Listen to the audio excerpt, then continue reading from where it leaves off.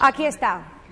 Esta es la imagen del día, los momentos dramáticos en que los vecinos de una vereda de Isnos Huila son informados de una nueva avalancha mientras examinan los destrozos que la primera en busca de sobrevivientes y algo que rescatar de sus bienes perdidos. El saldo parcial de la tragedia a esta hora es de cinco muertos, 12 desaparecidos y 13 viviendas destruidas y 23 averiadas. Rescatistas y voluntarios de Huila y Cauca se han unido a la búsqueda.